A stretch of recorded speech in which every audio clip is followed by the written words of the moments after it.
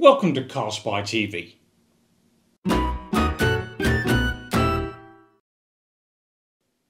Hello there. This is a windscreen washer pump that I removed from a Ford Focus and in this video we're going to take it apart which realistically I suspect means smash it open to get a better idea of what's inside and how it works. This is going to be interesting. We'll also figure out why, after 17 years of working perfectly, it broke and I had to remove it from our 2005 Ford Focus. That was a busy afternoon. Okay, so let's have a first look. Water enters the pump here through this inlet pipe. Can you see down there? And then there's an electric motor here that spins around very quickly and that propels the water through these outlet pipes here at the back and one of these sends water to the windscreen, so you can clean that, and the other sends it to the back window. I can't actually remember which one goes to where, but I knew on the day that I replaced it. If we have a look at the top here, there's an electrical connector, and we can see there's quite a bit of dirt and corrosion down there. I don't think that's necessarily enough to stop the pump working, but who knows? As for getting inside, this thing isn't designed to easily come apart and go back together. I can't see any screws, for example. There is something there that maybe looks a little bit like a clip. So what I'll do is grab some tools, have a go at that area, and we'll take it from there. Which tool shall we start with then? Well, that's no use. That's clearly unsuitable. That's my odd socket set.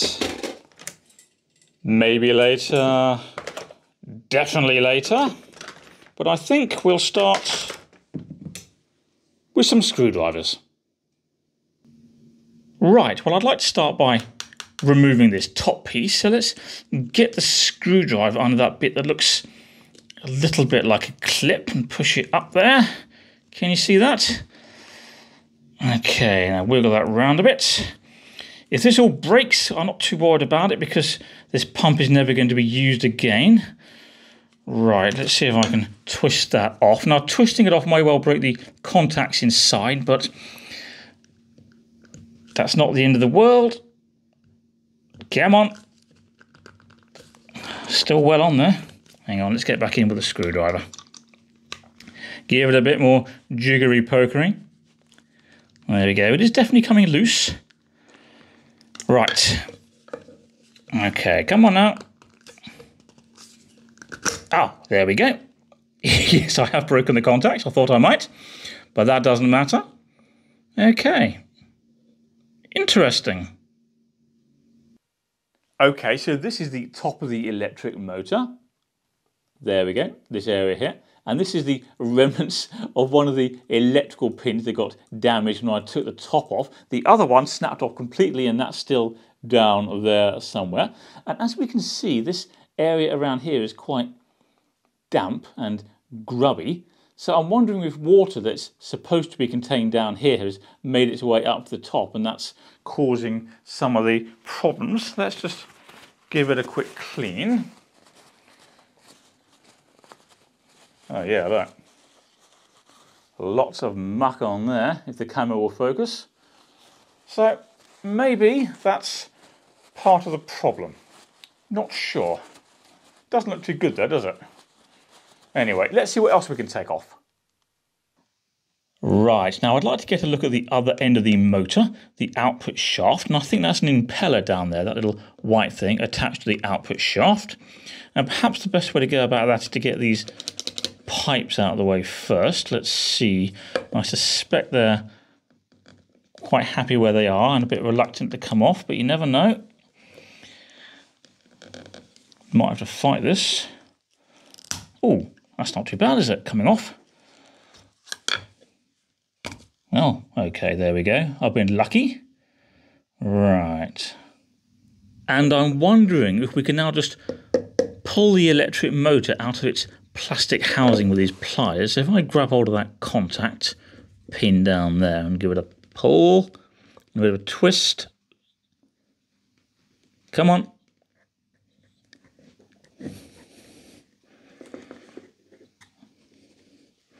Oh, yes, there we go. Okay, so this piece here, this is the actual motor, and well, that's quite wet, isn't it? Let's just dry that off, and look at how dirty it is in there.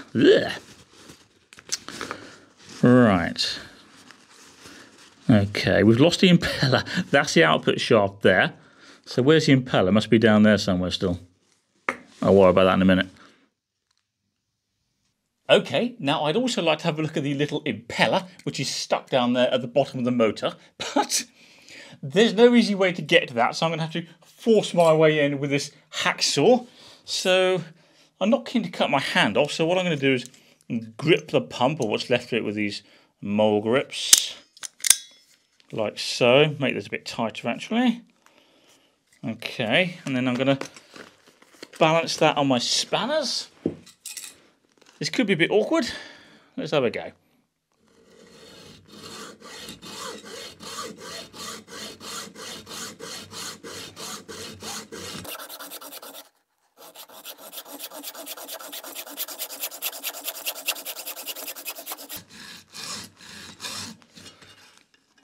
Okay.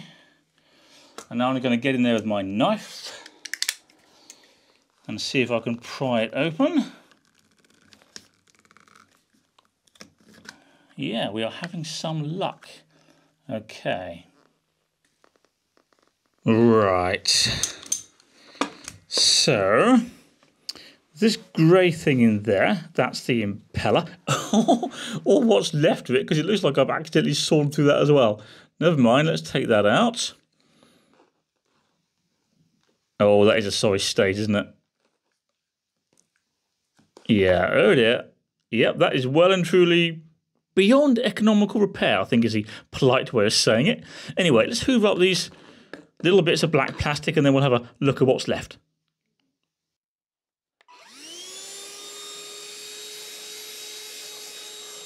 So, now the pump is in pieces, we can more easily see how it works. So, as I said earlier, water enters the pump through this intake pipe there.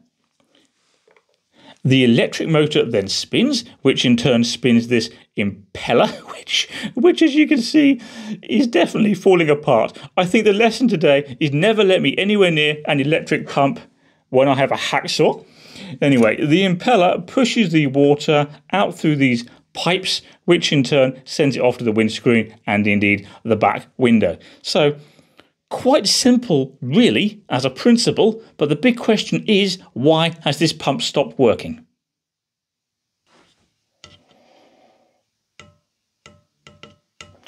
Well, I think I've figured it out. Okay, in there is a big rubber seal that sits about here when the motor and impeller are within the case. And that seal separates the impeller, which is supposed to get wet, from the electric motor, which is not.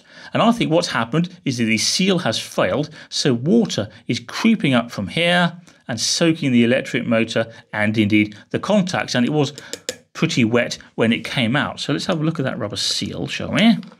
Take it all apart again. Take it with a poke. And there we are. There is the rubber seal, which sits about there. So that's my theory. I think the electric motor got wet and that broke it. So, do you think I'm right or do you think something else broke this water pump? As always, you're welcome to have your say in the comments section of this video. And I think that's about it before we go. Just one more thing. If you haven't already subscribed to Car Spy TV, you're welcome to do so. But for every day you don't, I'm going to chop up another water pump. Bye.